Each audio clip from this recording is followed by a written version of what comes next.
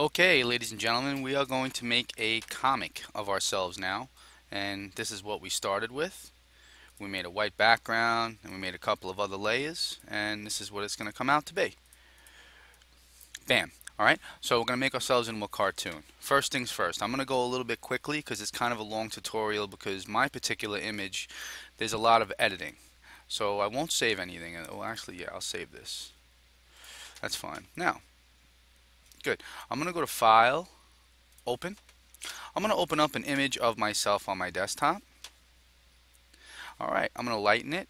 Go to Image, Auto Tone, Auto Contrast, and Image Levels. We will brighten it up a bit. That's fine.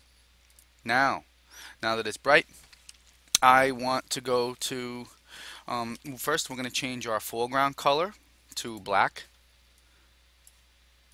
and the background color will change to white. So we got our foregrounds and background colors. Now, um, the first thing we're going to do is change this thing with a filter. We're going to go to sketch and stamp. So you go to, in this background layer, we're going to duplicate it so we have a copy. And now we're going to go to this one, filter. Go to the filter gallery in Photoshop CS6. Whoopsie. Control Alt Z. Sorry filter, filter gallery. Alright, something's not working here. Filter! Filter gallery. Sorry, wrong section. Because I already did this prior. So when I go into sketch, I'm going to click on stamp. And, and, when you click stamp, you can't see anything yet because the uh, you got to lower it a little bit, the size of it. So you can also just hit Alt and it'll lower the uh, size for you. Alright, and you can move it any way you need to. Alright, this one is already set up for me, but I played with the, you could play with the, the levels and the lightness and darkness and smoothness. I'm going to kind of leave this image the way that it is, but you play with the smoothness and things like that to get uh, a little bit more of your image so you can just see the black and white outlines. You don't want to see too much detail, just enough where you know it's there. Alright, I'm to load that just a little more detail into it. And that's okay. I'm alright with that. So I'm to hit OK.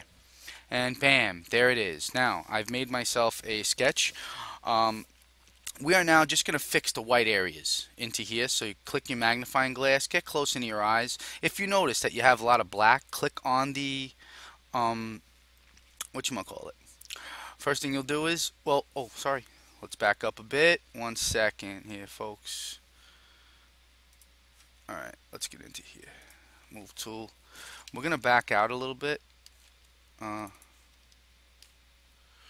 control 0 so I can see everything. I'm going to make another layer and in the back I'm just going to make this layer a completely white layer by going to the rectangle tool changing the foreground to white go behind it and now I've got a completely white layer behind it. The reason I'm doing that is because when I go into here, this particular layer, with my magnifying glass, I want to take out some of this. So I'm going to click the brush tool, and we're going to lower, you want a hard edge, not a so soft edge. So go to the hard edge, and you're going to lower the, lower the size of it.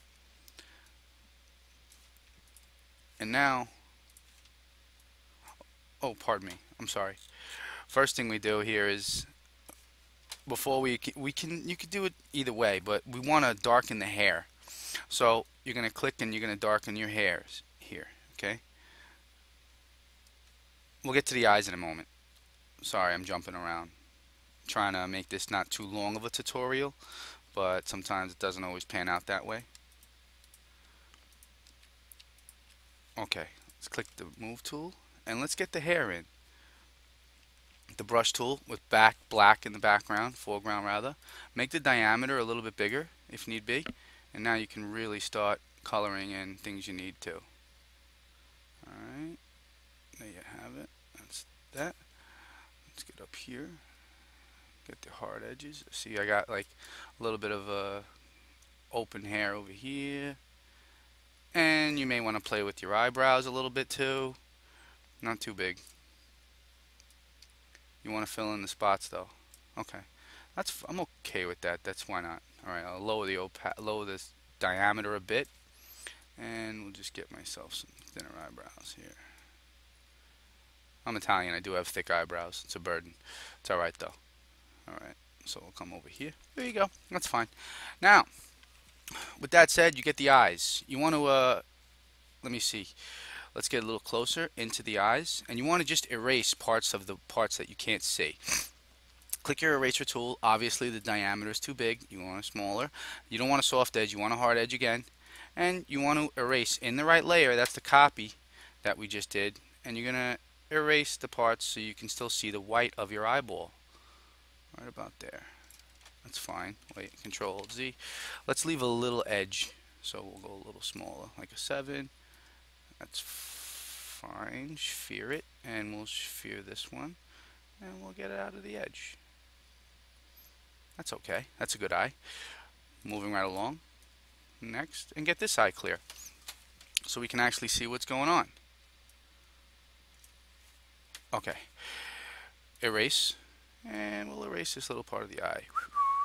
Goodbye. See you later. And this one right here. Okay. Gone. Now, let's back out. Not bad. Looks a little strange with the eyes like that, but we'll get to that. Now, we painted the hair. We did it. We're going to make a, another layer now. We're going to bring your layers up make a new layer. This is where your color is going to live. So we'll call this face color. In the face color, you're going to click on the brush tool. In the brush tool, you're going to make a bigger diameter to brush over your face with the hard edge. That's fine. Maybe a little bit bigger. That'll be alright. A little bit bigger. That's fine. Now, I want to color myself my close to my pigment. I'm uh, you know fairly tan. Not too much. That's about right. And now, do yourself a favor. Don't hold down and color and then lift up and then do it again because you're going to do that. Everyone does it and it's a mistake and it's going to drive you berserk. In the face color layer, hold your hand down once and try and get it as close as you can to these edges. Especially, and get your ears as well. Get the outside of your ears. Get as close as you can to your jaw bones and cheekbones, whatever you want to call them coming along. And listen, you can erase this afterwards if you've gone out of the edge. It's not a big deal, but it's always best, rule of thumb, to stay with as close in the edge as you can. Notice I didn't lift up my finger. That's why everything stayed intact. I'm going over this completely. Try and go a little quicker.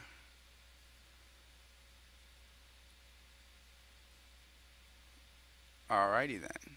With that done, you're going to go into this menu here and go to multiply and it puts it all over your face.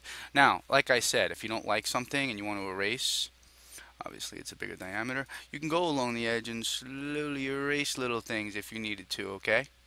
Now, the inside of the ear, you want to color a darker color, along with if you have lips here. So, we're going to, well, first, let's get the brush selected. Let's go into everything that needs to be in color is colored as far as my skin. So I'm gonna go into here I'm gonna darken the tone a bit to about here. And now I'm gonna lower the bring this down to about a uh, size of a lip which would be here. And now sorry I'm gonna lower the opacity just a little bit to like 80 and I'm gonna give myself a little lip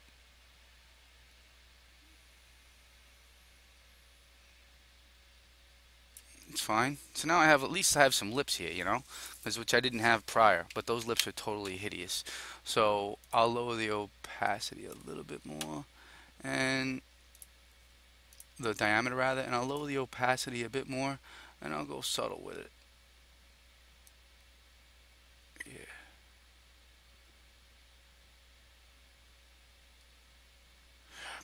When you have an outline actually of your lips, this is a lot easier. Alright, so I'm going to leave it at that. Let's just say that that's fine, which it's alright. You also want darker ears. The inside of your ear should be a bit darker. Just enough to say it's there. That's fine. Whoops, I went over it. Right about there, that's all. Nothing crazy. And in here, just a subtle little something. There you go. Now we know that that's there. Your eyes, can't see them. Get into here. You're going to want to erase parts of the eyes so you can see them in the facial color. In the face color part, you're going to erase the eyeball. Lower the diameter a bit, and let's get into there. Whoopsie. There you go. And bring your eye back. I went out of lines a bit. Sorry about that. It's because the diameter is big and I'm getting a little lazy. Don't get lazy, people. Especially if you've done so much so far. Alright, there you go. Cool. Moving right along. Whoops. Move it over here. Uh, erase. This part of the eyeball, yes.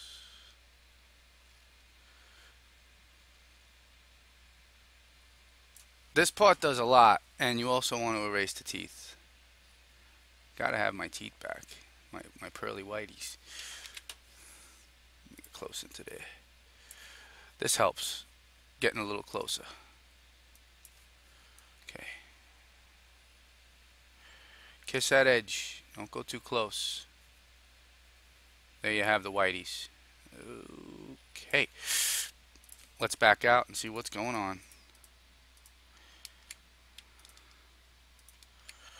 Okay, so now, now that we have that, we are also going to, we did the lips. We're going to do up my clothing really quickly. This should be super duper fast. Click the magnify, click the brush tool. Go into your clothes. I want to make my shirt blue. I'm with it. That's fine. Diameter's got to be a bit bigger. Whoops. You don't want to pick it up. You want to just do it once. So there it is. There's my shirt coming along. Okay. Okay.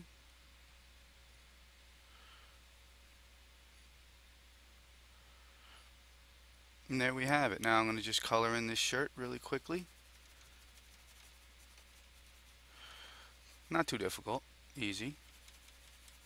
Whoops. I went out of the edge, and that's alright because I can erase it afterwards, which I'm going to. It's already multiplied over it, so it's not a big deal. Like, because it's in the layer that we multiplied, we're just adding color, more color. Do not lift your finger, because if you do, it's going to double the color. And it won't, it'll be a big, big, like, it'll show a circle, a contrast, and you don't want that. So I'm slowly erasing. That's fine.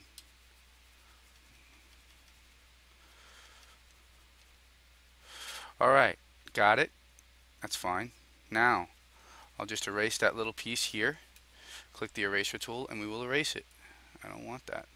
That's fine. There. Now, this is pretty much almost on its way done. Let me fix this edge here. And this edge will kiss over here. Alright, now, I'm going to do one last thing. And then we can call this thing a day. We're going to make a red background. So I'm going to click on this, make a new one here. I'm going to go underneath everything. I'm going to make a new layer right here. So I'll make a new layer. And in this layer, oh, sorry, in the background copy, you want to erase everything. So I've erased everything I, I've seen in my background copy, basically. Now in layer 1, Control D. In layer 1, it's really easy, guys. All I'm going to do is click on the brush tool. I'm going to make a huge brush, and I'm going to make it in red. I'll do it in the uh, out outside. It's fine. Oh, you want the opacity to be really full. Alright, and now let's color in the whole entire layer, whole image. That's fine. And this is the last thing you got to do. In this one little layer here, you're going to just erase the edge. Make it a really big eraser, bigger than that, and we're going to just erase. Whoopsie. We'll go into here in the eraser tool, a softer edge, and we're going to erase the edge, revealing only yourself. That's why I didn't mind the hair like that, guys. See?